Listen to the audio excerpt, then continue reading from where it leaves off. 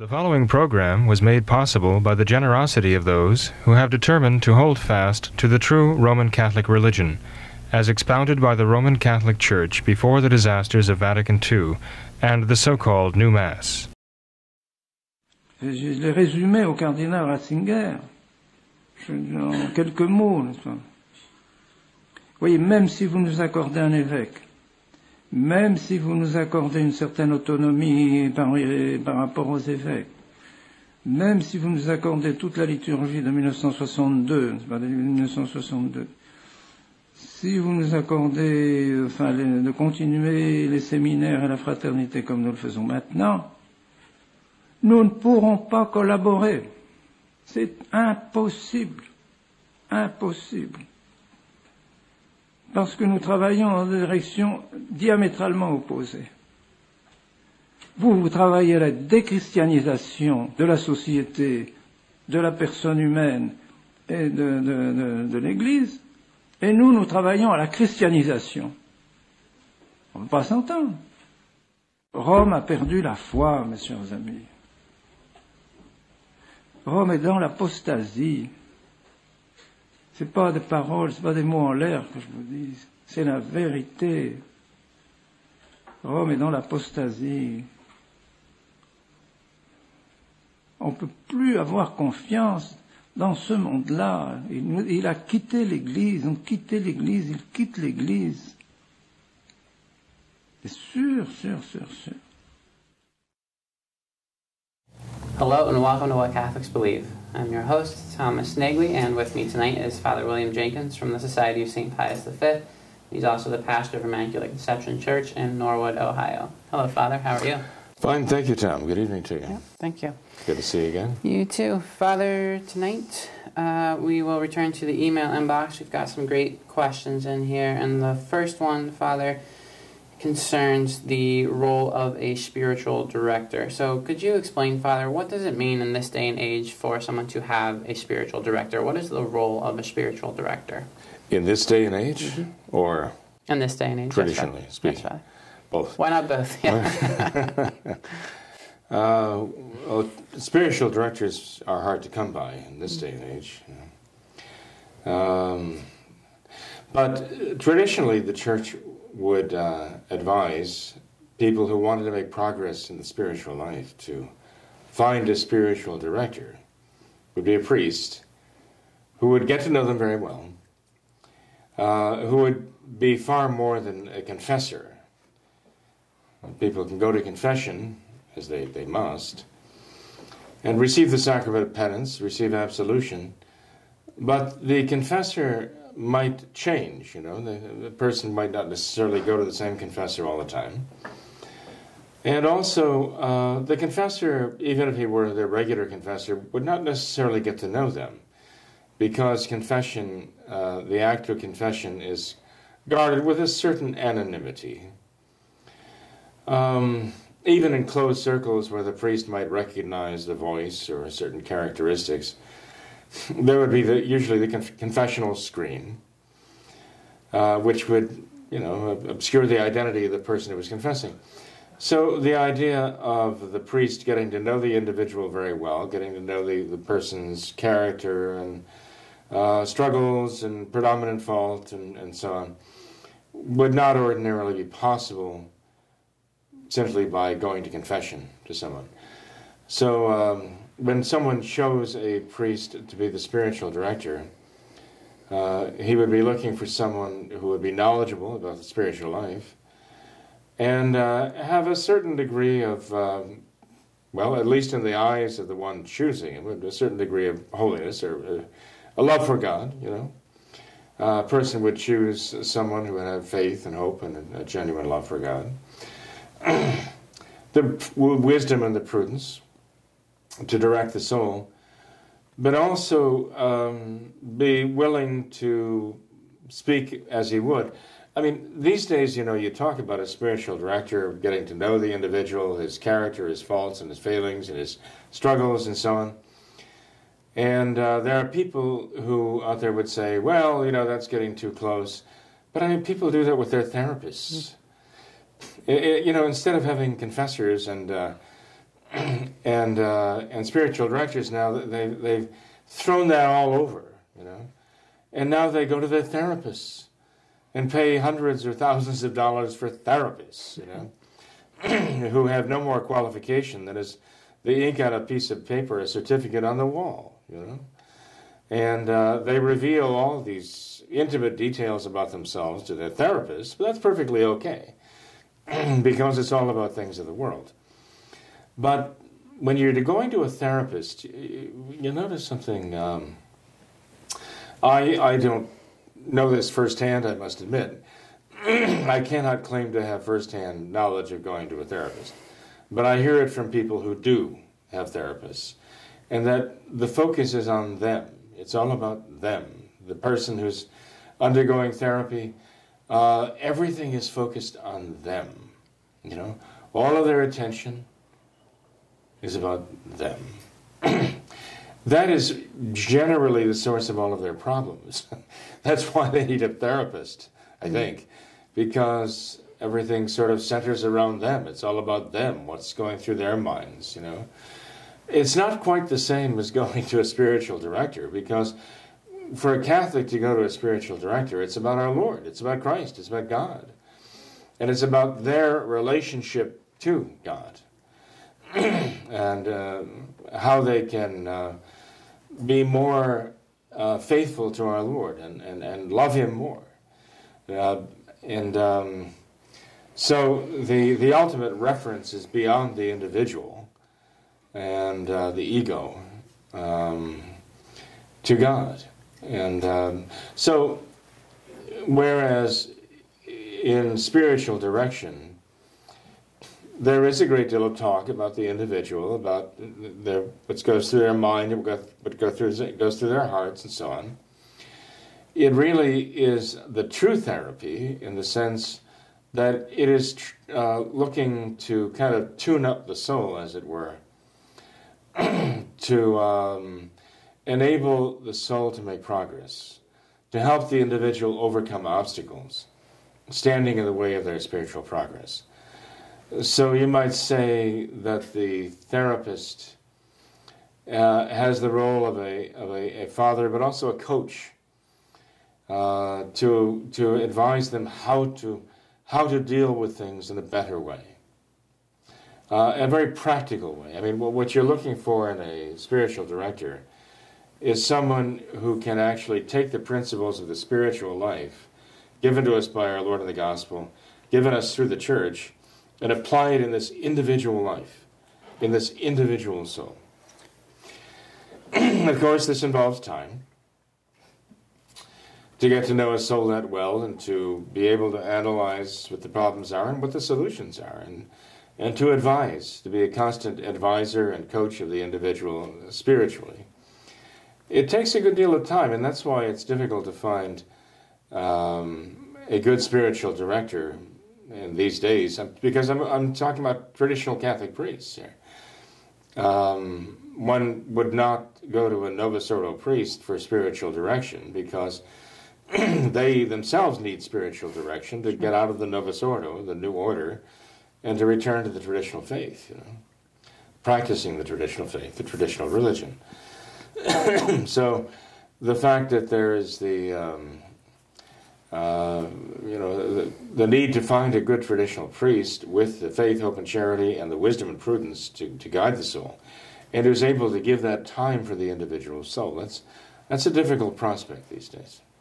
And, Father, with the crisis in the church uh, that's happening today, how does that affect the role of a spiritual director? They mentioned here how um, a spiritual director, if one were to have one today, a, tr- a true traditional Catholic priest, uh, they would not have the uh, they would not have the jurisdiction of a diocese. Would that affect the spiritual director's role? Well, it does not choose a spiritual director on the basis of having jurisdiction of a diocese, but regardless, I mean, to look for to look for the authorization from modernists is antithetical to the whole idea being being traditional because the modernist purpose is to is to eradicate the traditional, and they are.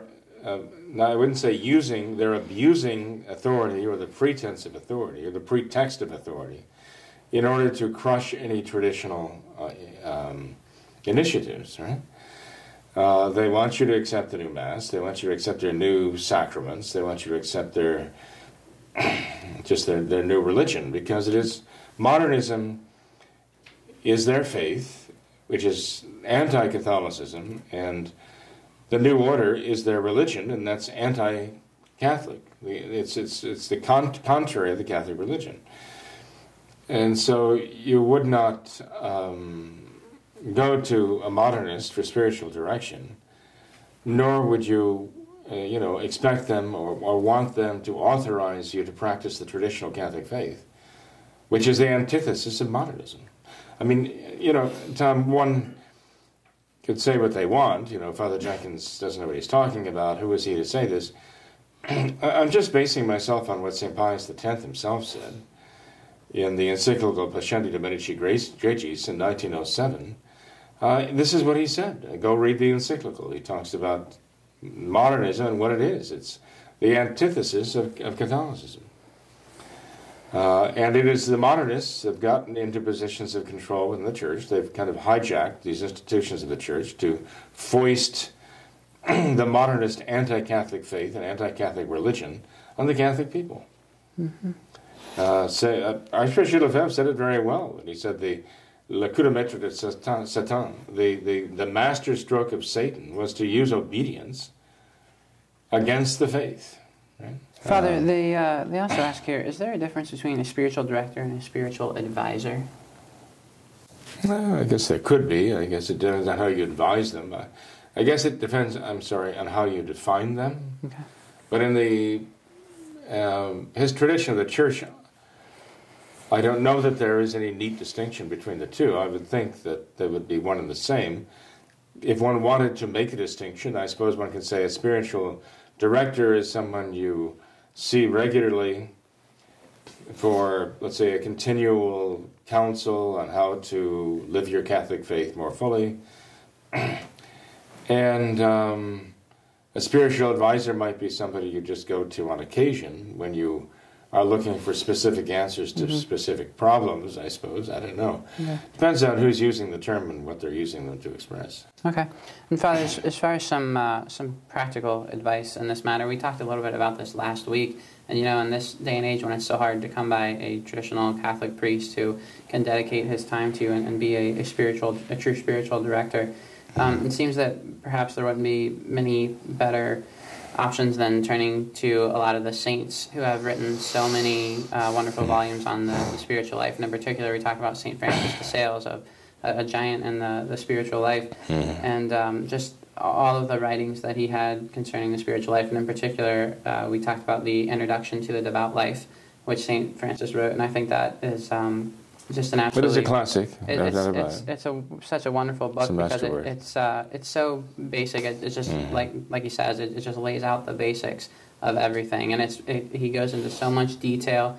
Uh, you, you, know, he he describes almost exactly what each and every day should look like. You know, he he gives mm-hmm. he, he, gives uh, so many particulars. For example, you know you should he says that you should spend an hour a day in mental prayer. Your mental prayer should be derived from meditation on our lord's passion. And he tells you the exact steps gives you an exact formula of how to meditate. Right. remember though he's writing for religious. Okay. You know? And so um, Theophila, he's writing mm-hmm. to religious he's writing to sisters right? Mm-hmm. and that doesn't disqualify him or his writing for a spiritual direction. Um, you know, to, to, to read a spiritual book is not the same exactly as having a spiritual director there. Sure. To hear, you know, what's going through your particular mind, what's going through your particular life at that time. But I would say that the writings of St. Francis de Sales are so universal yeah.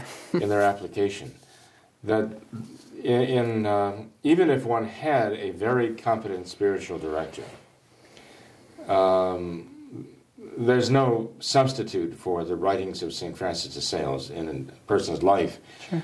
Uh, that's that is where everyone should go. I think uh, as a sort of um, um, a touchstone, you might say, you know, to, uh, to, to to get the spiritual life actually off the ground mm-hmm. for a person. So Um, I would advise that to anyone, whether they have a spiritual director or not, to read the, especially the um, the writings of Saint Francis de Sales, uh, the treatise on the love of God. Uh, they would do well, actually, also to read The Three Ages of the Spiritual Life by Father Garrigou-Lagrange, although some might find that a bit obscure. Uh, but it's still definitely worth reading, Sure. no doubt about it. Mhm. So there are some spiritual classics like that that can bring the soul a long way, even if they can't find a spiritual director. Definitely. Uh, as such, they can get a lot of spiritual direction from these writings. Sure. You know, another book that comes to mind, which is very practical, is that by the Barnabite priest Father Quadrupani, uh, Light and Peace. He even talks about, briefly, he talks about the difference between a spiritual director and a confessor. And uh, he gives a lot of practical advice. And again, you know, it's not the same as having the other Quadrupani in the room talking to him about your, you know, what you're going through that day and, you know, getting some uh, a coach's advice on how to deal with these partic- practical situations. Nonetheless, he's so down to earth, and he deals with I- issues that are so common to the human soul that I think everyone who would read his book, Light and Peace, would come away with benefit. And and actually, in writing reading the book, you might say uh, each one might say, "He's talking to me." You know, this applies to me today, here and now. So I highly recommend that. Sure. Uh, another book, again, uh, which is so uh, essential for spiritual development and uh, spiritual guidance in the world today, would be Dom Scupoli's uh, The Spiritual Combat. It's another very fine. Each one of these books has its own particular character, um, which means that you know each one of them has its own particular contribution to make in the spiritual life, and one would do well to read them all. Sure. That's great advice, Father. Thank you. Thank you for that. All right, then, Father, let's move on to another email here. This is from a new reviewer who says he, he recently started watching our videos, particularly about the Novus Ordo. And he says, When I tried to talk to someone that attends the Novus Ordo and find what traditional Latin Mass to go to, they replied that he should go to one that is approved by the Holy See through a diocese. As I found out that a traditional Latin Mass that follows the Holy See is still invalid, I now believe that the chair of St. Peter is vacant. Because the Knights of Columbus worship Francis, should I let them know I wish to resign or just walk away? I would also like to get involved with your group and understand not to attend any more Novus Ordo Masses, which is a grave sin. So, any advice here, Father?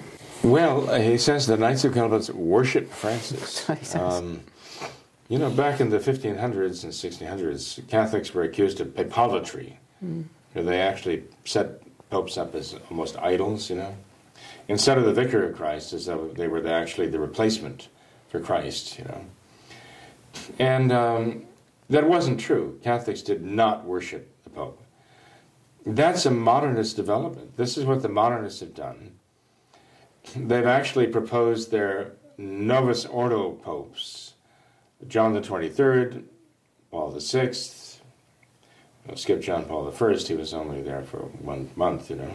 John Paul the Second. They actually encourage almost a kind of hyperdulia, if not latria, uh, like a worship of them, like an adoration of them, like almost as though they, they can do no wrong. I mean, they've, they've already canonized or pretended to canonize a couple of them. They're going to canonize, they say, Paul the Sixth here very soon.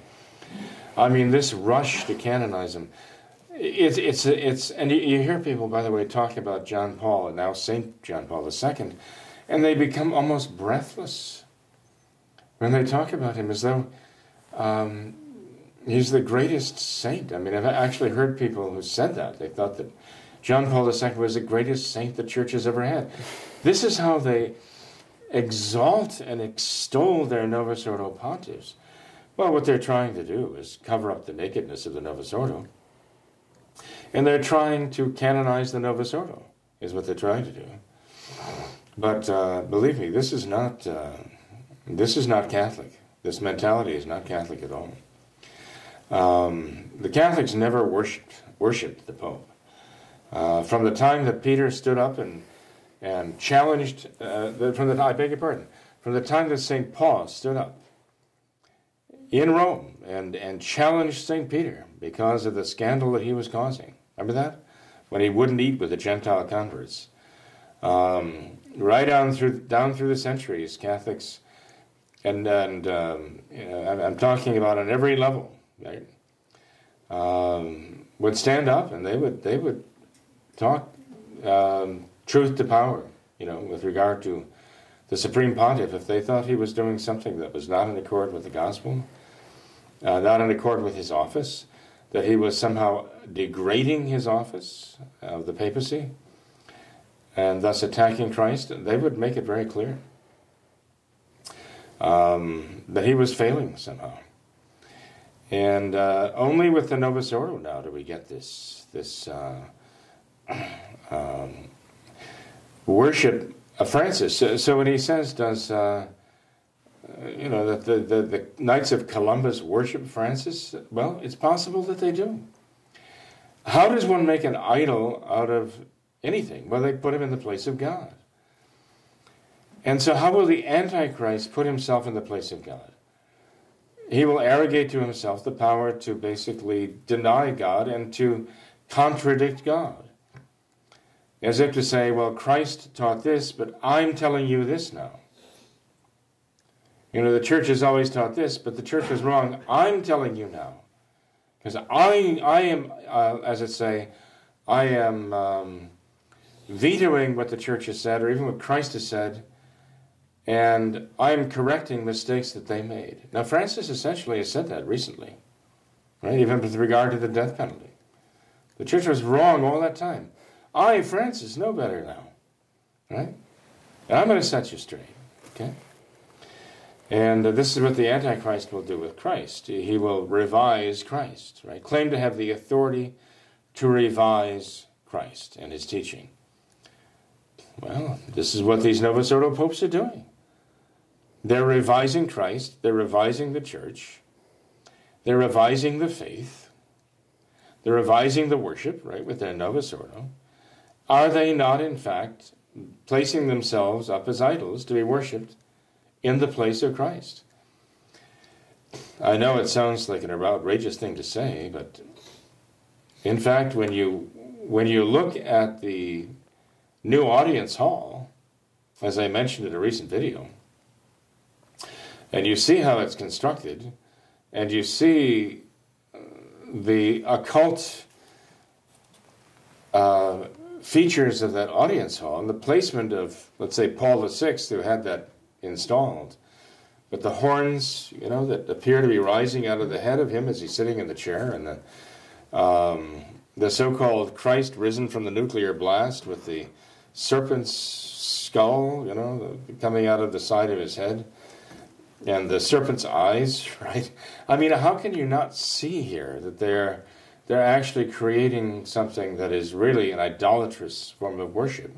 So I guess really maybe this gentleman is not exaggerating when he says that the Knights of Columbus worship Francis. I think this is the mentality of the Novus Ordo now. So, Father, how, how should he go about leaving this group? Should he make some kind of statement? I, I, I, think he should tell them that this is wrong, what they're doing is wrong, and make, make it very clear. But I don't think he should stand up in the midst of them and start giving a speech. he won't even get a chance to explain. It'll turn into an argument, and no good comes from that. If I were he, I would sit down and I would start making a, a, uh, a drafting a letter to them, maybe to all of the members of the, the lodge, and. Uh, and uh, in a very thoughtful way. Um, he, he, obviously has to pray before doing it, after doing it, and while doing it, right to the Holy Ghost, uh, to help him think clearly, express clearly what he's thinking, and to convey the truths of the faith to them and what concerns him. And he should submit like a letter of recommend of, of resignation to them mm. from that. Okay. Uh, because he cannot be part of idolatry and uh, he should find the a true traditional Catholic chapel near him, if there is any. I don't know where he is, and maybe he doesn't say, but you shouldn't say anyway on, on, the air, I guess. But I mean, if he wanted to uh, tell you, tell us where he is, we can try to direct him to a real traditional a real traditional Catholic chapel because there there are a number of fake ones out there that people are taking advantage of the situation of the church to Sure. to uh, kind of mimic, right, or or somehow disguise themselves or. Um, uh, what should I say? Pa- pass themselves off as traditional, but they're not really traditional, not faithful to Catholic tradition. Sure.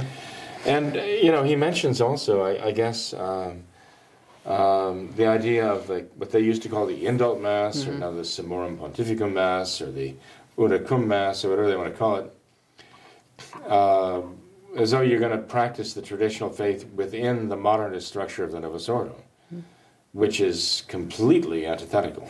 I mean, even the Novus Ordo, people understand that. The Novus Ordo hierarchy even brand this the attempt to practice the traditional faith within their Novus Ordo modernist structure, the extraordinary, extraordinary form, right? So even they are saying, well, this is just kind of a fringe, right, for them.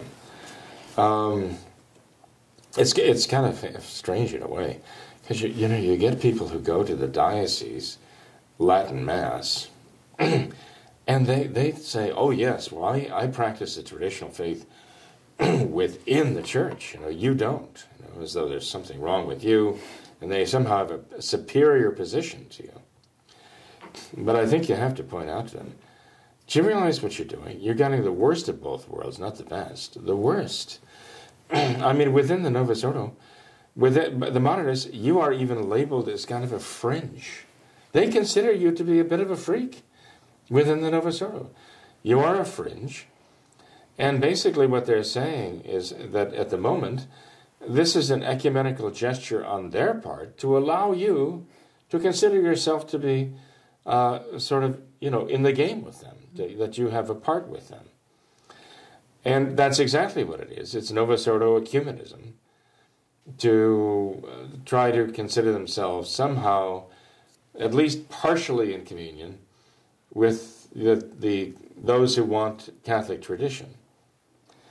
Um, and this is this is part of their overall ecumenical effort toward all religions.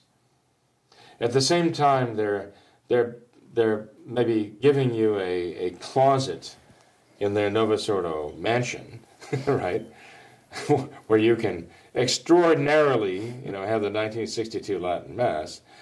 I mean, they're also Francis is also going around embracing the woman Archbishop of Protestant sects, uh, literally, literally embracing her, and saying he wants to be in communion with her. At the same time, saying that we're not going, he's not going to have uh, women or priests in the Novus. He's embracing women archbishops in Protestant churches, saying he wants to be in communion with her. So this is the the insanity of the contradiction, uh, endemic in modernism. This is what modernism is all about. And to think that somebody has this kind of smug reassurance that yes, I'm I'm within the diocese, the Novus Ordo diocese of such and such, recognized by the Novus Ordo bishop of the Novus Ordo diocese of such and such. And uh, no, I wouldn't go to one of his Novus Ordo masses, but I can have the, the 1962 Latin mass, and, and I can be perfectly legitimate because he's letting me have the use of a garden shed, you know, on, on the grounds of his mansion, and, and letting me consider myself an extraordinary form of Catholicism. You know, uh, it's a farce. It's just a, a, sad thing that people are willing to go along with a farce like that. Mm-hmm.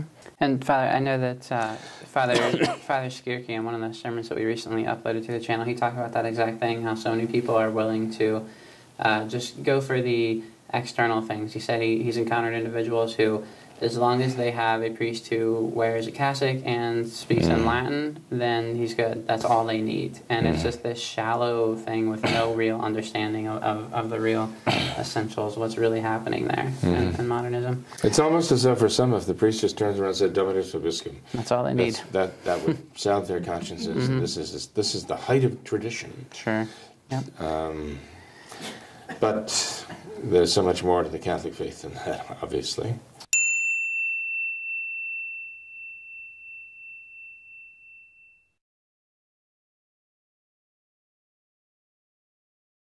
Yep. Well, Father, here's another email about the new Mass. This is from a viewer uh, who apparently has been having some discussion with a Novus Ordo friend, and he offers some of the his Novus Ordo friends' points that he's made concerning the new Mass versus the traditional Mass.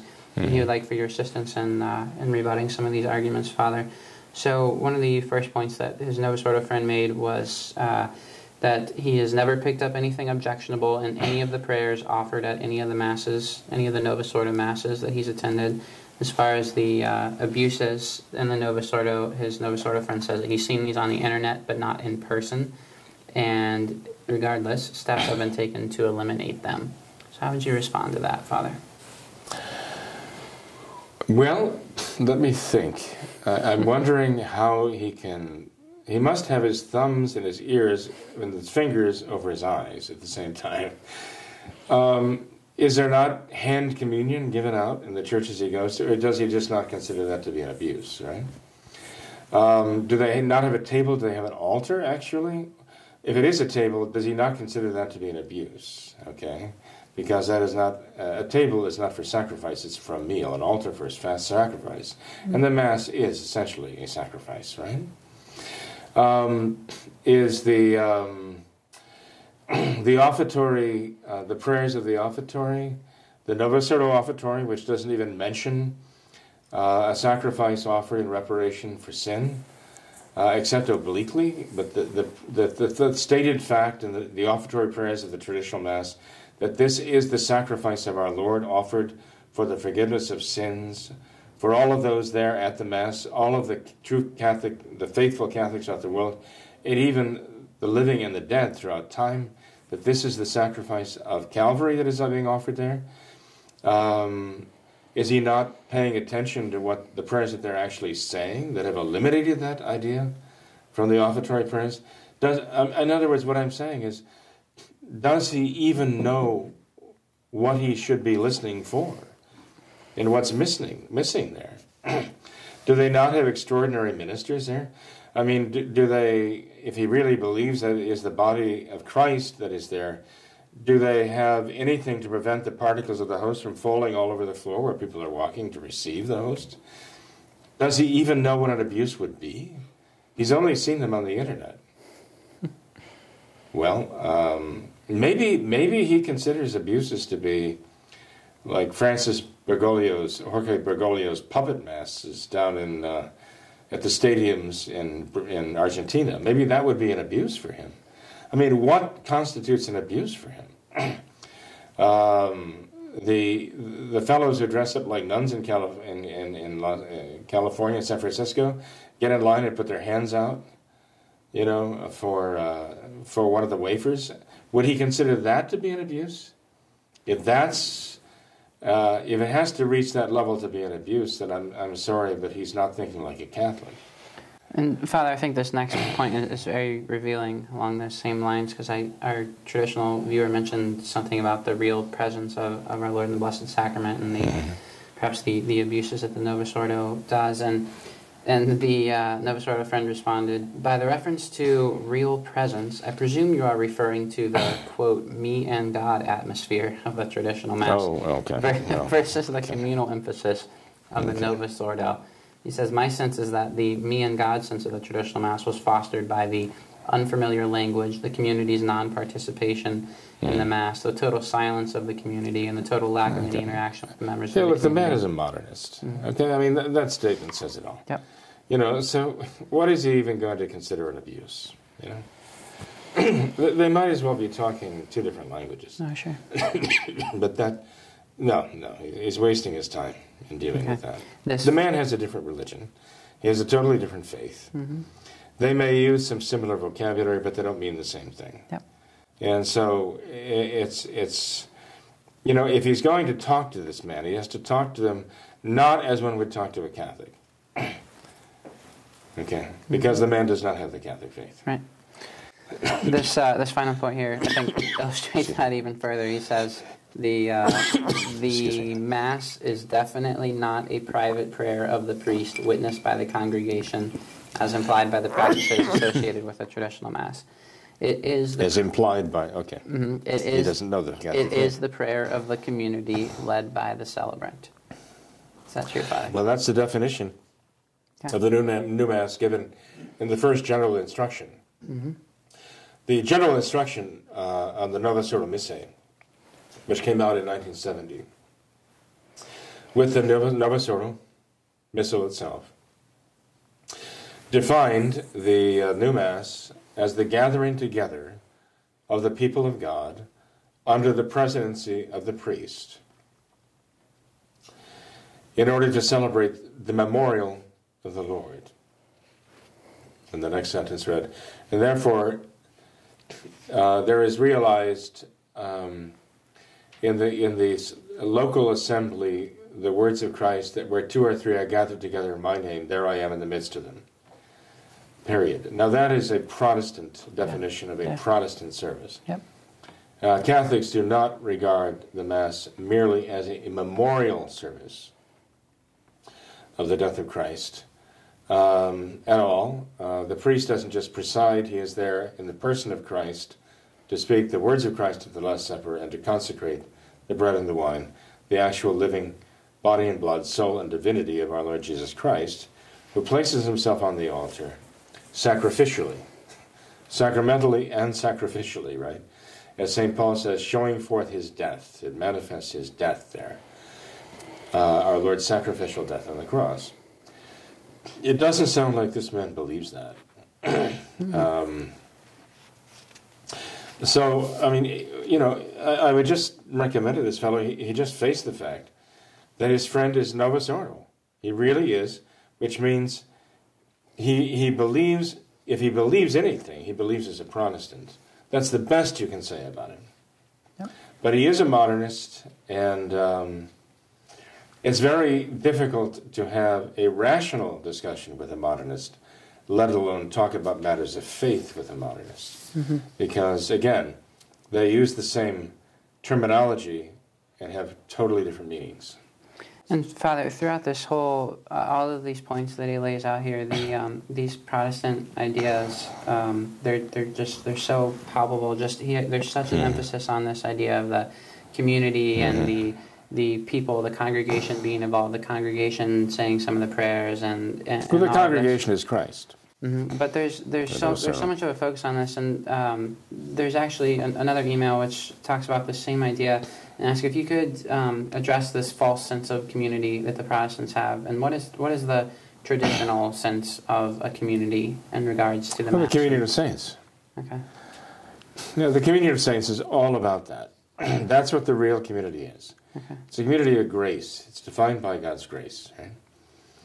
And for the communion of saints, we as Catholics are in uh, communion not only with the, the faithful here on earth, but also the souls in purgatory, who are in the grace of God, who have a love, true love for God, and they they are saved, but they're not in heaven yet. Okay, but they have they are in the state of sanctifying grace, and even the saints in heaven. I mean, by the community of saints, we're even in communion with the with the blessed angels in heaven, you know, and uh, and it is by grace that we are we are in communion with them. So we can pray for each other, and we do. You know, I mean, we can benefit each other.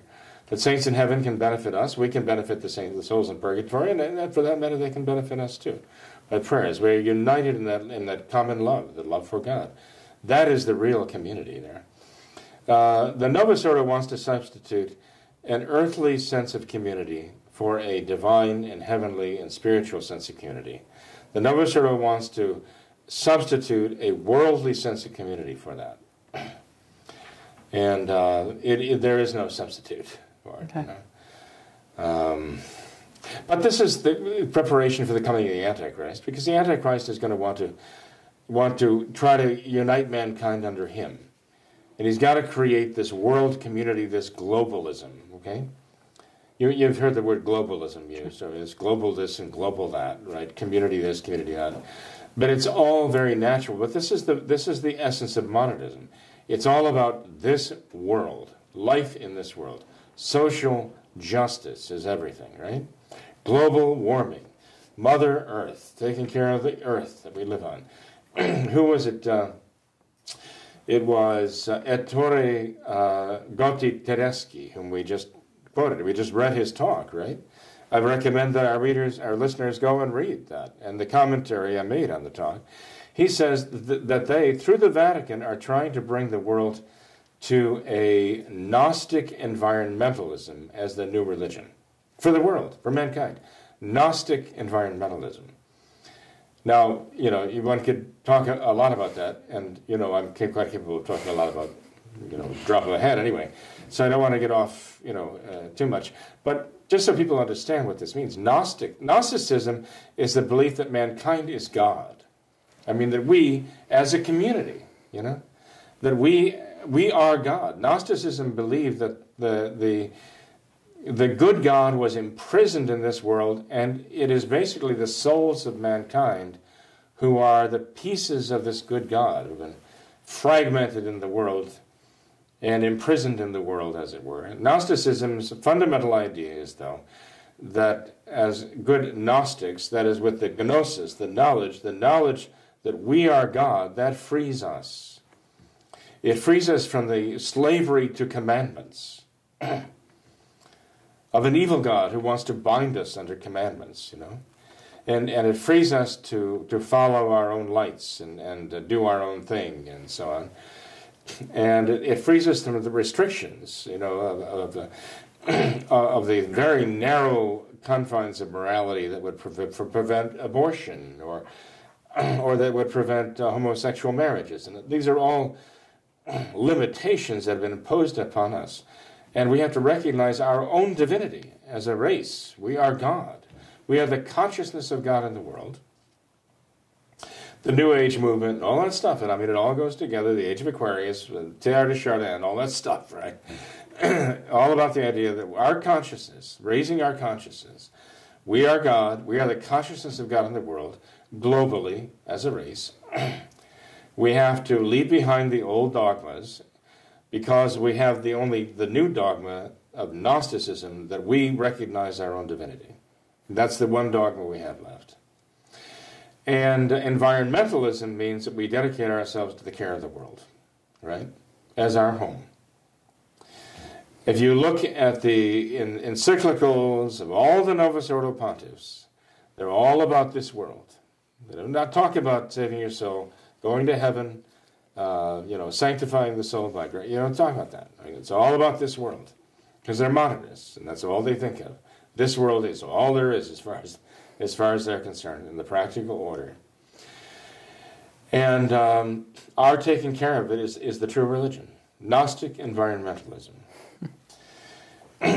so, um, you know, when you talk about a sense of community and so on, and that that, uh, that, that, that, obsession with community. He's talking about uh, world, the worldly communitarianism that is the work of the modernist uh, Gnostics of our own day, starting with uh, Francis. okay? Um, and um, that, is, that is the voice, and it is through, as Ettore Gotti Tedeschi said, the Vatican Academy of Sciences, the Pontifical Academy of Sciences, that he's bringing in all these prophets of this environmental Gnosticism now to preach this, this, this false gospel to the world. Sounds like fun. And this gentleman sounds like he's he's got uh, he's been bitten by that snake. he's, he's got that venom. Definitely. that is um, destroying whatever Catholicism he might have had at one point, perhaps, and filled him with these Gnostic ideas. Mm-hmm. Well, Father, that was all I had for tonight. In closing, do you have any uh, any update for us concerning the Society of Saint Pius X, a new Superior General? Any any happenings? Well, uh, Tom, we did a program recently on that. I think it's called uh, like Catholic Commentary on the News, July mm-hmm. 18 for 2018. And I wish more people would, would watch that and spread that around because it explains what's been happening in the Society of St. Pius X. I mean, those of us who have been observing the Society of St. Pius X for the last so many years have seen a real dramatic change. We remember the time when Archbishop Lefebvre would speak, and he would speak like a prophet. He had the, like the voice of a prophet, talking about the, the Novus Ordo and, and how we, we are not in, in, in, um, in communion with, with modernist Rome, he says, but we are in communion with eternal Rome, with Catholic Rome, you know. And he would uh, use very, very bold language in condemning the errors of the modernists and the corruptions of the faith going on and the damage to the souls. And, and at the same time, he was extolling and representing the true Catholic faith in beautiful, in beautiful terms, powerful terms. We've seen the Society of St. Pius X seemingly over the last five, six years, or thereabouts, kind of drop all of that. Um, uh, that, that, that prophetic voice of Archbishop Lefebvre almost reject it and suppress it, you know. And now we know why, because they've actually um, uh, the, the, the, public relations. They've hired public relations firms to, to represent them, to craft a new public image for the Society of St. Pius X. We know this is true now. We have testimony, and that program that I mentioned to you that we did recently um, explains that. The, the sermon of the Pius X priest, who was first marginalized and then basically put in, in cold storage, you know, before he left them. Uh, he's made it very clear uh, what is what has actually happened to the Society of St. Pius X, that they've been compromised, and it is it is so horrible to think of the the what they call the SSPX becoming the brand X of of you know traditional Catholicism. You know, I mean, who wants brand X? But this is what they've done to it. This is what they've done to Archbishop Lefebvre's life's work. You know, and it's so tragic to see that. Um, of course, we saw that you know, we saw that happening, the, the, the inklings of that earlier. and that's ultimately the reason why we were shown the door way back in 1983, because we saw there were certain inklings of this. Inklings that Archbishop Lefebvre had openings, but then Archbishop Lefebvre himself rejected that. But now, uh, through Bishop Fellay and his long tenure, and now I don't know about uh, Father Pagliarani, if he's going to pursue this, we have every indication that he is.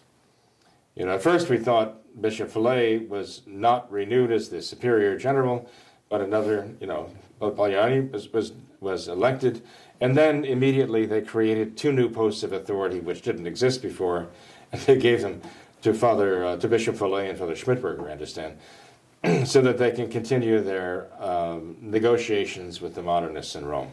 Wow. Negotiations for the betrayal of the Society of St. Pius X, Archbishop Lefebvre, and the traditional Catholics in their care. What, what a tragedy that is. We have to pray for them that they not um, that they not tie the knot, so to speak, with the modernists, because that will be a that that'll be a terrible tragedy.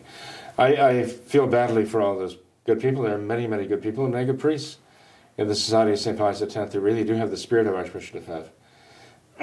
and um, I think who are um, very, very troubled by what they see happening. And they should be. Uh, and I'd, I'd, recommend to them that they make uh, you know, very clear statement that this is heading in the wrong direction. We haven't come all this way for the sake now of, as it were, coming around first circle going out the Novus Ordo front door only for the sake of circling around and coming in the back door. this is not what Archbishop Lefebvre intended. So, um, I don't know, people might, might think it's uh, being sarcastic to say going from being the SSPX to being brand X, but uh, I mean, uh, I, am afraid they're, they're selling out the faith. Uh, so it's going to take a stroke of grace to make them realize yeah. that uh, they're definitely on the wrong track here. Sounds good. And I think the, the, those in the Society of St. Pius X who realize that have to um, need the fortitude to make it very clear that that's how they see it, and they're not going to go that way with them. Sure. So let's hope. Yep. Pray. Well, Father, thank you for being here tonight. Appreciate your time. Absolutely, Tom. Thank you too. Yep, no Uh, any words of wisdom from Charlotte? Not off the top of my head. Oh, no. really? No, Okay, No, no, she's uh, too busy being a good girl. Oh, well, that's there's wisdom in that. Yep. Uh, so, okay. Give her my best regards. I'll do that. Thank you, Father. Bless you. This is your, this is your daughter? Yes. Your older, your older daughter, Yep, yep. not your wife. No, No. But uh, no, uh, Tom does tell me some of the uh, Words very innocent, uh, profound things that Charlotte has to say on theological matters. And uh, I'll tell you, she she uh, is close to having her doctorate in, in sacred theology. I must say, as children will, Yep. just from the questions they ask, let alone the answers they give. So, Oh, boy. so, right. so now I know where she gets it from, Tom. Yep, something like that. Yep. All right, well, thank you, Father. Appreciate certainly. Tom. Yep. Good night. Thanks to all of our viewers as well for watching this episode of What Catholics Believe. Until next time, we ask that you all remember the words of Our Lady of Fatima, to consecrate yourselves and your families to the Immaculate Heart of Mary, and to pray and do penance. Thank you, and God bless you.